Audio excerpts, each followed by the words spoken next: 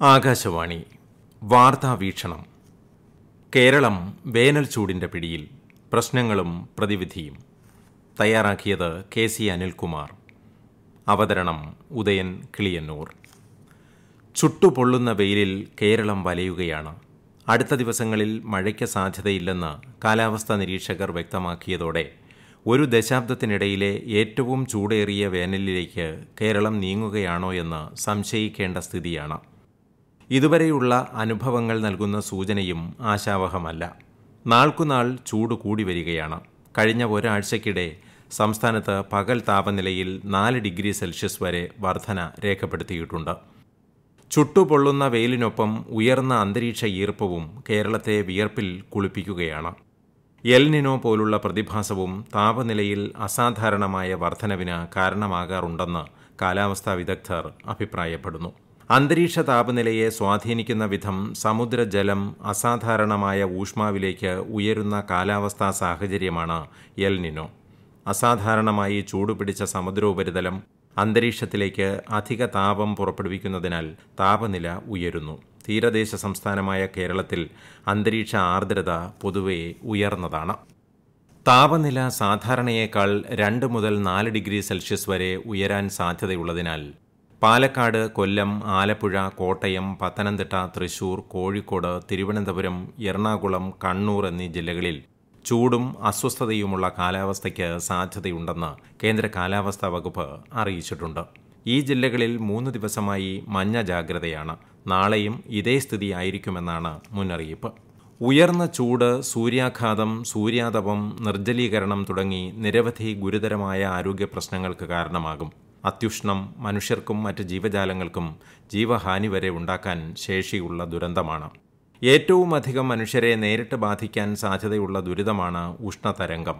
ഒരു പ്രദേശത്തെ പരമാവധി താപനില സമതലങ്ങളിൽ കുറഞ്ഞത് നാൽപ്പത് ഡിഗ്രി സെൽഷ്യസ് അല്ലെങ്കിൽ അതിൽ കൂടുതലോ മലനിരകളിൽ കുറഞ്ഞത് മുപ്പത് ഡിഗ്രിയോ അതിൽ കൂടുതലോ ആവുമ്പോഴാണ് താപതരംഗമായി കണക്കാക്കുന്നത്.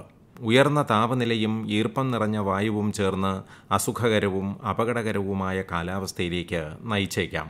സൂര്യാഘാതം നിർജലീകരണം തുടങ്ങി കടുത്ത ചൂടുമായി ബന്ധപ്പെട്ട ആരോഗ്യ പ്രശ്നങ്ങളുടെ അപകട സാധ്യത ലഘൂകരിക്കുന്നതിന് സുരക്ഷാ നടപടികൾ സ്വീകരിക്കണമെന്ന് സംസ്ഥാന ദുരന്ത നിവാരണ അതോറിറ്റി പൊതുജനങ്ങളോട് നിർദ്ദേശിച്ചിട്ടുമുണ്ട്. വരൾച്ചയ്ക്കു പുറമെ ജലജന്യ രോഗങ്ങൾ പോഷകാഹാരക്കുറവ് മാനസിക അസ്വാസ്ഥ്യം അലർജി വായുമലിനീകരണം തുടങ്ങിയ പ്രശ്നങ്ങളും ഈ പ്രതിസന്ധിയുടെ പ്രത്യാഘാതങ്ങളാണ്. കൊടും ചൂടുമൂലമുള്ള ഗൗരവമേറിയ ആരോഗ്യ പ്രശ്നമാണ് നിർജലീകരണം. താപനില നിയന്ത്രിക്കാനും ദഹനം ശരിക്ക് നടക്കാനും ശരീരത്തിൽ ജലാംശം അത്യാവശ്യമാണ്. നിർജലീകരണം സംഭവിച്ചാൽ പലതരത്തിലുള്ള ശാരീരിക പ്രവർത്തനങ്ങളെയും ഗുരുതരമായി ബാധിക്കും. സാധാരണയിലും കവിഞ്ഞ ക്ഷീണം നിർജലീകരണം സംഭവിക്കുന്ന അവസരത്തിൽ അനുഭവപ്പെടാം.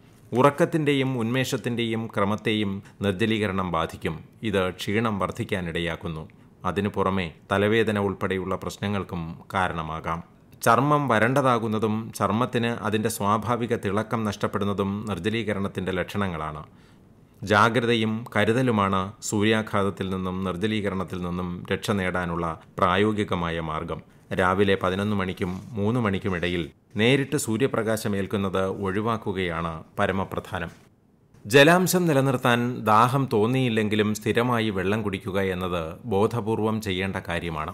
മദ്യം കാപ്പി ചായ കാർബണേറ്റഡ് ശീതളപാനീയങ്ങൾ തുടങ്ങി നിർജലീകരണത്തിന് കാരണമാകുന്ന പാനീയങ്ങൾ പകൽ സമയത്ത് പരമാവധി ഒഴിവാക്കണം. ഒ ആർ എസ് ലായനി സംഭാരം തുടങ്ങിയവയുടെ ഉപയോഗം പ്രോത്സാഹിപ്പിക്കണം. വാഴപ്പഴങ്ങൾ തണ്ണിമത്തൻ ഓറഞ്ച് മുന്തിരി കാരറ്റ് തക്കാളി കാബേജ് ചീര വെള്ളരിക്ക എന്നിവ ജലാംശം കൂടുതലുള്ളവയാണ്. കൊഴുപ്പ് കുറഞ്ഞ പാലിൽ ജലാംശം കൂടുതലുണ്ട്. പഴങ്ങൾ പച്ചക്കറികൾ എന്നിവ ഭക്ഷണത്തിൽ ഉൾപ്പെടുത്തുന്നത് രോഗപ്രതിരോധത്തിന് ആക്കം കൂട്ടും. ഭാരം കുറഞ്ഞതും അയഞ്ഞതും ഇളം നിറത്തിലുള്ളതുമായ പരുത്തി വസ്ത്രങ്ങൾ ധരിക്കുന്നത് അത്യുഷ്ണത്തെ ചെറുക്കും.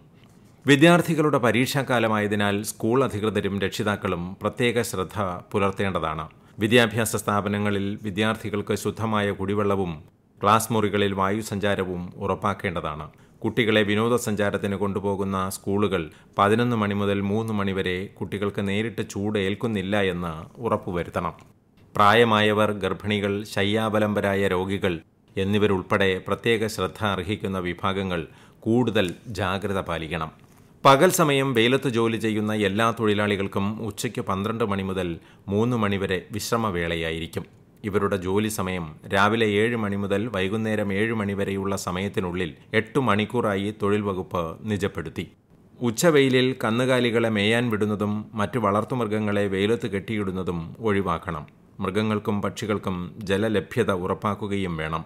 കേരളത്തിലെ ഉയരുന്ന താപനില സൃഷ്ടിക്കുന്ന സാമൂഹിക സാമ്പത്തിക പാരിസ്ഥിതിക പ്രത്യാഘാതങ്ങൾ പലതാണ്.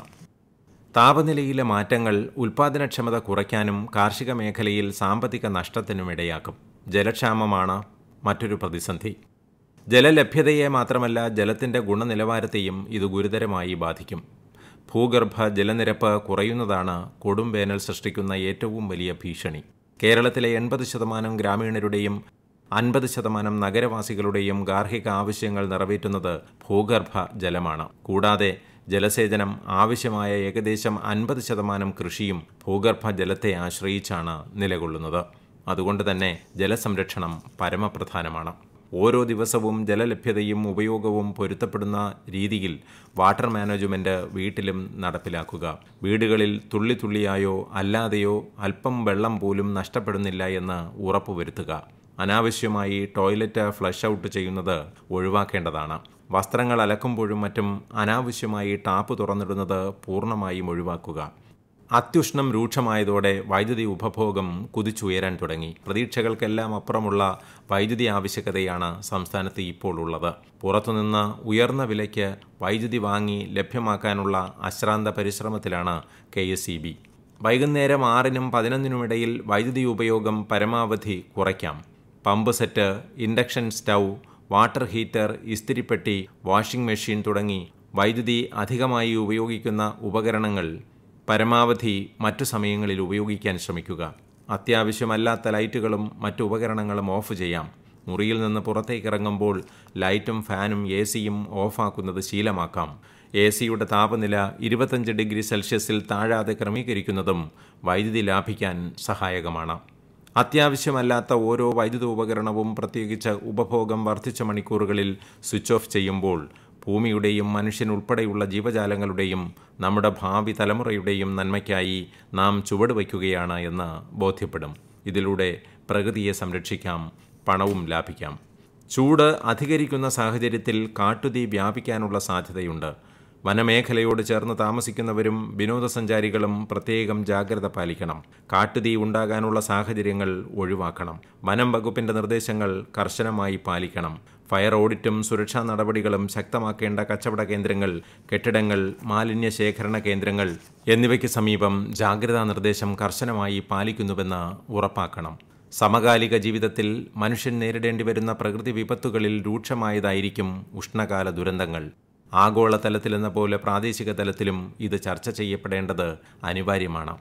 സവിശേഷമായ ഭൂപ്രകൃതിയും ദിനാന്തരീക്ഷ സ്ഥിതിയും കാലാവസ്ഥയുമുള്ള ഒരു ഭൂപ്രദേശമാണ് കേരളം.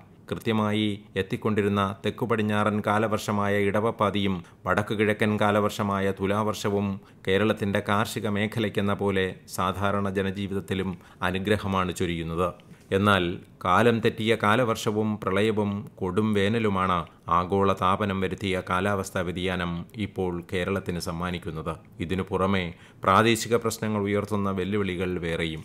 അപ്രതീക്ഷിതമായി ഉണ്ടാകുന്ന വിപത്തുകളെ നേരിടാനുള്ള പ്രായോഗിക നടപടികളും കൂട്ടായ പരിശ്രമവും വേണം. ഒപ്പം പ്രകൃതിയെയും പ്രകൃതി വിഭവങ്ങളെയും സംരക്ഷിക്കാനുള്ള ആർജവം ഉൾക്കൊള്ളണം എന്നതാണ് ഈ വേനൽക്കാലം നമ്മെ ഓർമ്മപ്പെടുത്തുന്നത്. നിങ്ങൾ കേട്ടത് വാർത്താ വീക്ഷണം. കേരളം വേനൽ ചൂടിന്റെ പിടിയിൽ പ്രശ്നങ്ങളും പ്രതിവിധിയും തയ്യാറാക്കിയത് കെ സി അനിൽകുമാർ.